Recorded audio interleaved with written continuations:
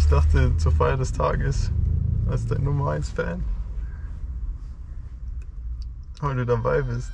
Bei Germany's Next Topmodel. Bist du dabei? Ah! Ja, das Intro war ein bisschen dramatisch, aber die Story heute wird auch dramatisch und deswegen, hi, ich bin Laura und ich erzähle euch heute die Story, in der ich bei der 17. Staffel Germany's Next Topmodel dabei war und einen Tag vor Drehbeginn abreisen musste. Nicht wundern, ich habe mir mein iPad zurechtgelegt, weil ich da alle Daten aufgeschrieben habe und mir eine kleine Stichpunktliste gemacht habe, weil das so viel Input heute sein wird in dem Video. Also holt euch gerne Snacks oder Drinks oder was auch immer und dann fangen wir einfach chronologisch an, ganz am Anfang. So, das Ganze ging natürlich ganz klassisch los mit der Bewerbung und die Bewerbung habe ich am 17. Mai 2021 abgeschickt, nachdem meine Freunde mir jahrelang schon immer gesagt hatten, ich solle mich mal bei GNTM bewerben und ja, 2021 war es dann soweit und ich dachte mir so, ja, keine Ahnung, was soll schon passieren und habe das dann einfach abgeschickt. Und dann habe ich zu meiner Überraschung am 31. Mai eine Einladung nach Berlin bekommen, um vor Ort das GNTM Casting Team kennenzulernen und sozusagen wirklich ein Face-to-Face Casting zu machen. Am 17.06. ging es dann nach Berlin zum Face-to-Face Casting und ich habe auch meine Nummer aufgehoben, die 3098, die hatte ich hier kleben an meinem Casting-Outfit. Und genau, dann habe ich da das Casting einfach mitgemacht. Ich werde da jetzt nicht ins Detail gehen. Ähm, auf jeden Fall habe ich sozusagen die Vorrunde gemeistert. Und dann durfte ich erstmal nach Hause fahren, weil dann hieß es, es wird jetzt einfach noch besprochen. Ähm, und es gab noch weder Zu- noch Absage so, aber Vorrunde war gemeistert so. Und wisst ihr, was das Krasseste war? Das war wahrscheinlich, dass ich die Paulina in Berlin bei dem Casting kennengelernt habe, weil sie sich auch zu der gleichen Zeit beworben hatte und wir zufälligerweise beide am selben Tag zum gleichen Zeitpunkt zum Casting eingeladen wurden.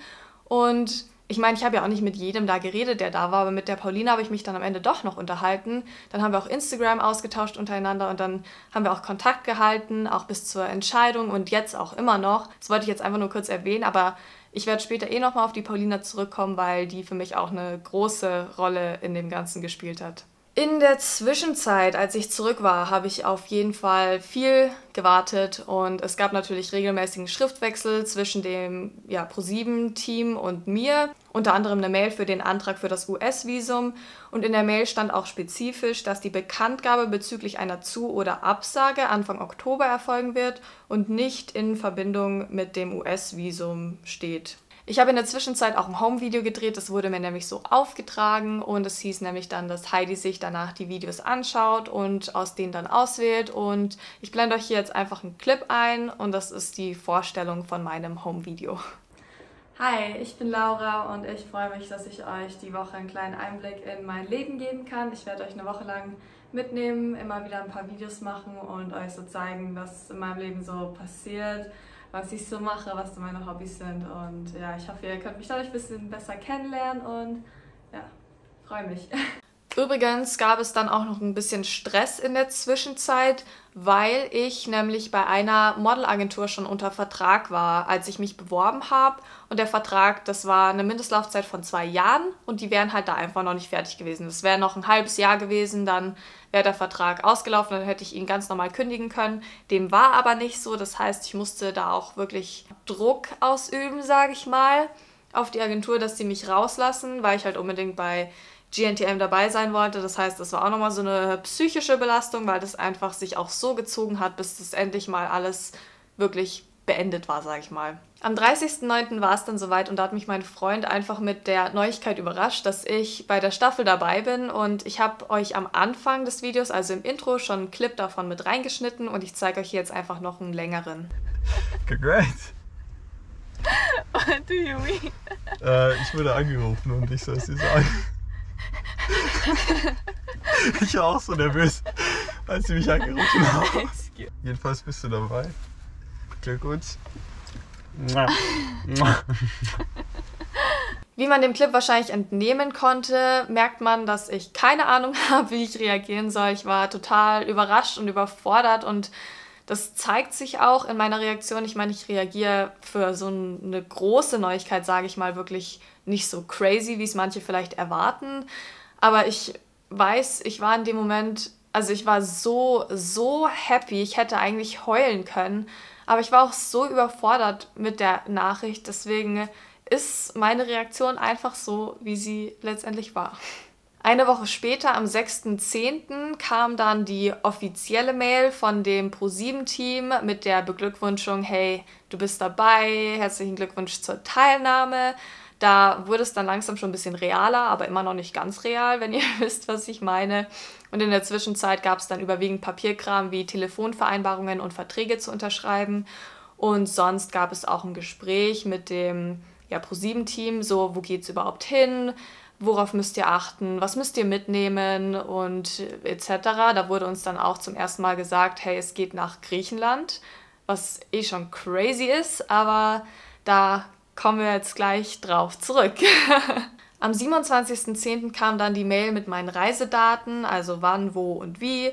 Abflug war am 1. November und meine Abflugzeit war um 8.49 Uhr. Und das Ziel war, wie schon gesagt, Griechenland, Athen. Der Dreh hat ja zu Hochzeiten Coronas eigentlich stattgefunden. Das heißt, wir mussten davor natürlich auch jeder PCR-Test regelmäßig machen etc. Und da ging dann das Desaster langsam schon los, weil ich ab ja, paar Tage vor dem 1. November, also eigentlich fast ab dem 27.10. wahrscheinlich, gemerkt habe, dass ich krank werde. Und zwar nicht nur so so ein bisschen krank, nicht nur so ein bisschen Schnupfen, Nase zu oder Husten oder so, sondern wirklich alles auf einmal.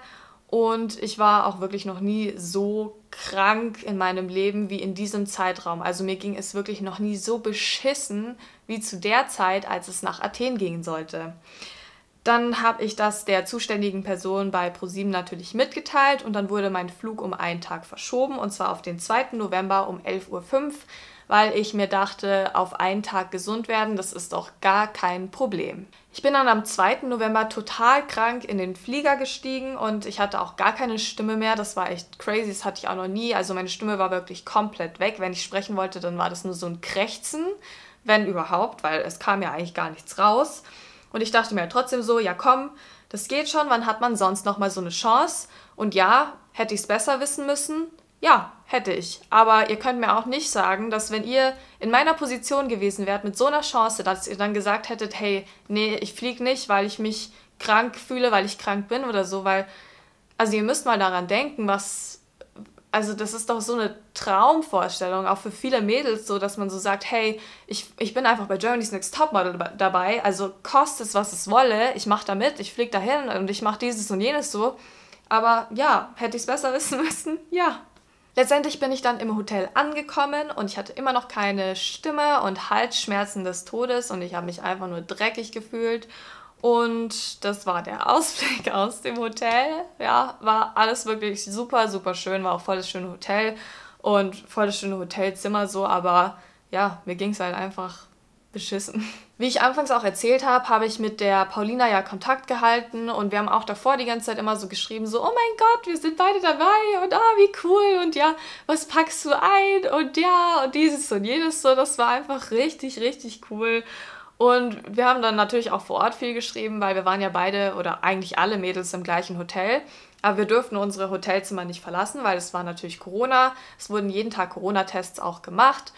Und ja, man war eigentlich sozusagen isoliert von alles und jedem und sollte dann, ich glaube, es waren drei oder vier Tage im Hotelzimmer bleiben.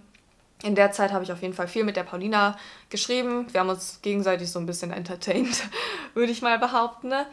Und es war halt einfach schön zu wissen, dass da wirklich gerade jemand auch in der eins zu eins gleichen Situation ist, also jetzt abgesehen von dem Kranksein so, aber mit Aufregung, Nervosität, so diese Ungewissheit, was als nächstes kommt, so, das war einfach, ja, es war einfach schön, dass man da wirklich jemanden hatte. Und dann ging es noch weiter bergab. Nicht wundern, ich werde jetzt auch ein bisschen mehr ablesen, weil ich mir ja auch ein paar zusammenhängende Texte geschrieben habe, einfach nur aus dem Grund, dass es so viel Input ist und ich nicht weiß, wie ich das alles aus meinem Stegreif raus in wirklich Texte oder Sätze setzen soll. Merkt man, oder? Meine Gesundheit hat sich in Griechenland rapide verschlechtert und ich musste letztendlich fragen, ob mir diejenigen, die sich um uns gekümmert haben, also Verpflegung und so weiter, mir einen Arzt besorgen können. Und ich muss ehrlich sagen, das mit dem Arzt hat schon ein bisschen gedauert so, aber ja, keine Ahnung, das ist ja eigentlich auch nicht normal, dass man einen Arzt braucht, whatever. Der Arzt ist dann auf jeden Fall ein paar Stunden später gekommen und als er dann da war, hat er mich untersucht, Corona-Tests gemacht und das Team von GNTM war auch mit im Zimmer. Und zum Besprechen der Ergebnisse sind dann der Arzt und das Team aus dem Zimmer rausgegangen und ich saß dann halt erstmal so da, so nach dem Motto, ja und jetzt, weil ich hatte halt keine Ahnung, der Arzt hat mit mir nur gebrochenes Englisch reden können. Beziehungsweise, ich glaube, der Arzt hat gar nicht mit mir Englisch geredet, sondern da war noch einer dabei, ein Assistent oder so. Der hat mir das alles übersetzt. Aber letztendlich wurde mir nie wirklich gesagt, so was ich habe oder was man dagegen machen kann oder was auch immer so. Also ich war komplett im Ungewissen. Nach einer gefühlten Ewigkeit kam sie dann wieder rein und ja, das ist ähm, so ein Moment gewesen, den werde ich nie in meinem ganzen Leben vergessen. Und ja, mir wurde halt gesagt, ich müsste jetzt nach Hause fliegen. Und zwar wirklich, das war ein Tag vor Drehbeginn. Ich schwör's euch, das war einen Tag vor Drehbeginn. Die kamen rein und haben mir gesagt, hey, deine Reise ist, deine Reise ist jetzt hier vorbei. Du musst jetzt wieder nach Hause fliegen. So, du kannst nicht mitmachen. Der Arzt hat gesagt, du bist ansteckend. Und klar, ja, ich, ich also macht ja keinen Sinn, wenn ich dann da mitmache und letztendlich alle Mädels anstecke. So, es macht alles voll Sinn, so, aber ihr müsst euch vorstellen, in dem Moment war das echt wie als, wie als wäre für mich so eine, fuck, äh, wie als wäre für mich so eine Welt zerbrochen, beziehungsweise, ach, ich wollte eigentlich gar nicht weinen.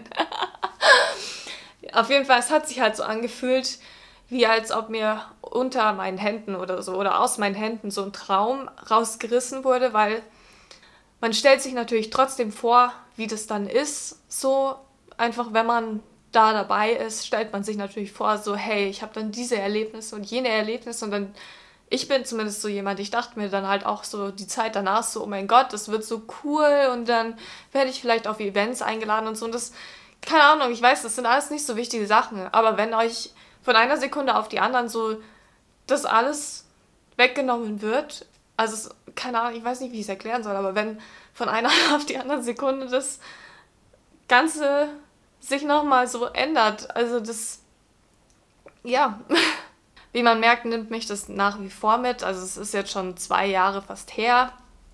Aber dadurch, dass man natürlich trotzdem dann auch von der Staffel, bei der man dabei gewesen wäre, immer wieder so TikToks oder Instagram-Posts oder Nachrichten oder was auch immer bekommt, was bei GNTM gerade abgeht, dann keine Ahnung, was soll man da anderes machen, als sich denken, so, Alter, das hätte ich sein können, so. Also es soll sich nicht so kacke anhören, aber letztendlich war das dann voll das Problem für mich, einfach über dieses Was wäre, wenn hinwegzukommen. Aber das ist jetzt so voll philosophisch und ich mache jetzt weiter mit den Facts.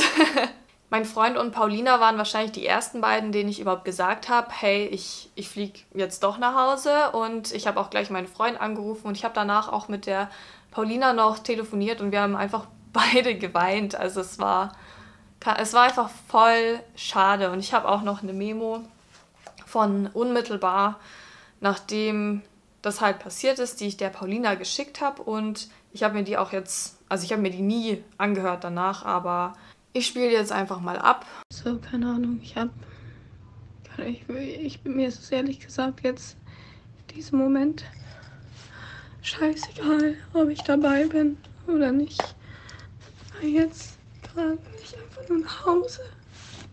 Gott. Und ich habe jetzt auf jeden Fall nur noch gesagt, dass ich auf jeden Fall dieses Antibiotika will. Und wenn es möglich ist, haben also heute noch, obviously. Dass ich einfach so bald wie möglich jetzt nach Hause will. Keine Ahnung. Ich, ich bin jetzt fertig mit dieser ganzen Geschichte hier. Ich kann jetzt nicht mehr. Ich bin psychisch und auch gesundheitlich einfach komplett am Ende. Ihr konntet offensichtlich meine Stimme gerade hören. Und so habe ich mich wirklich die ganze Zeit angehört. Und das war gerade noch gut, weil ich versucht habe, wirklich Töne auch rauszubringen. Und ich weiß nicht, ob ihr es gehört habt, ich habe in der Memo auch von einem Antibiotika geredet, weil mir gesagt wurde, dass der Arzt mir ein Antibiotikum geben möchte, aber dass man das von der Apotheke holen muss. Und ich habe auch gesagt, ich hätte das gerne heute oder morgen. Ich habe das Antibiotikum letztendlich nie bekommen, aber ja. Ich habe eine wichtige Sache vergessen und das ist ein persönliches Dankeschön an die Paulina, dass ich überhaupt sie in dem Video erwähnen durfte und dass sie mir einfach immer bezüglich diesen Themas zur Seite gestanden hat, egal wie oft ähm, sie sich von mir irgendwelche verheulten Memos anhören musste. Und ich denke, das war einfach richtig gut, in so einer Zeit jemanden zu haben, der in gewisser Weise nachvollziehen kann, wie das ist. Und deswegen auch nochmal ein Danke an die Paulina. Letztendlich hat meine Story also damit geendet, dass ich mich am 4. November um 8.30 Uhr in das Flugzeug zurück nach München gesetzt habe und ich war einfach nur todeskrank und fertig von der ganzen Erfahrung. So schnell, sage ich mal, wie meine Reise angefangen hat, hat sie dann auch wieder aufgehört. Und ich weiß noch damals, als ich gesagt bekommen habe, ich bin dabei, da wollte ich es ich es wirklich jedem sagen. Ich hätte es am liebsten der ganzen Welt gesagt, weil ich so, so glücklich war. Und das war einfach schon ein, ein traumatisches Erlebnis, muss ich sagen, weil ja, wie, also wie kommt man auch mit so einer Sache wirklich zurecht? Ich weiß, ich weiß es selber nicht. Ich habe es bis heute noch nicht richtig verarbeitet, so bin ich auch ganz ehrlich, weil es ist einfach schwer, über sowas hinwegzukommen. Und ja, es sind nicht die wichtigen Dinge im Leben. Es gibt viel wichtigere Sachen, wie zum Beispiel Gesundheit so. Das habe ich natürlich auch danach gemerkt. So, ich würde auch nie wieder meine Gesundheit aufs Spiel setzen für sowas. Sag ich zumindest jetzt, aber who knows. aber ja, keine Ahnung, wie verarbeitet man sowas? Ich weiß es nicht. Die Zeit unmittelbar, nachdem ich nach Hause gekommen bin, war auf jeden Fall auch eine schwere Zeit. Also vor allem so ein, zwei Monate. Da war ich natürlich voll traurig. Das war einfach so ein richtiges Tief in dem ich drin war. Und ich war auch noch einen Monat krank. Also ich habe echt vier Wochen oder so gebraucht, um mich überhaupt von der Krankheit selber zu erholen. Und das war einfach mental eine richtig krasse Challenge. Falls ihr euch fragt, ob ich mich nochmal beworben habe, ja, habe ich. Und zwar ein Jahr drauf für die 18. Staffel. Ich muss aber auch ehrlich sagen, da habe ich mir nicht wirklich so viel Mühe gegeben. Ich hatte nicht so viel Elan. Ich hatte das einfach da noch nicht verarbeitet. Ganz einfach. Und deswegen hatte ich auch ein bisschen so das Mindset, so nach dem Motto, ja, die haben mich schon einmal eingeladen, dann laden sie mich vielleicht wahrscheinlich auch nochmal ein. So voll abgehobene Einstellung. Ist eine beschissene Einstellung, sage ich so, wie es ist. Aber das, das war halt damals meine Einstellung. Ich wurde natürlich nicht mal zum Casting oder so eingeladen, so. Also, was heißt nicht mal? Es gibt bestimmt viele Mädels, die sich bewerben und dann auch keine Antwort zurückkriegen. So, das ist einfach, es ist halt normal, sage ich mal, in dem Business so. Dadurch, dass ich halt damals schon die Antwort zurückbekommen habe, bin ich einfach davon ausgegangen, so, ey, safe so. Aber nein, das war halt einfach so nicht. Und meine Ausstrahlung in dem Video war auch komplett scheiße. Und ja, Falls ihr euch fragt, ob ich mich nochmal bewerben würde, weil alle guten Dinge sind ja drei, ähm, nein, würde ich nicht, muss ich ganz ehrlich sagen. Und zwar einfach nur aus dem Grund, weil es mir jetzt gerade einfach nicht in meine Lebenssituation passt. Ich will einfach mal eine Sache zu Ende machen und zwar ist es jetzt mein Studium. Ich bin jetzt im zweiten Semester und ich will nicht mein Studium unterbrechen müssen, weil ich irgendwelchen Träumen hinterherlaufen will. So hört sich doof an. Klar soll man seine Träume schon verwirklichen wollen, so, aber ich muss auch ein bisschen realistisch bleiben, so. Was das Modeln angeht, ja, ich model immer noch und ich arbeite nebenberuflich als Model und ich mache das voll gerne. Ich habe auch meine Agenturen so, ich bin eigentlich ganz happy, was das angeht. Und ich sag's euch aber, wie es ist. Germany's Next Top Model wäre ein geiler Push gewesen. Und der Hauptgrund, warum ich mich beworben habe, war nicht des Modelns wegen, sondern eigentlich eher dass man halt, wenn man bei GNTM war, automatisch Influencer ist, mehr oder weniger. Und ich denke auch, dass das der Beweggrund vieler heutzutage ist, die sich dort bewerben. Also es gibt bestimmt auch viele, die einfach nur das Modeln feiern, so das ist ja auch kein Stress so, aber ich wollte halt das Influencer-Dasein haben. Letztendlich würde ich sagen, es ist gut, wie es ist. Vielleicht war das ja ein Zeichen vom Universum, dass ich nicht damit machen soll, weil, wie schon gesagt, war noch nie so krank in meinem ganzen Leben.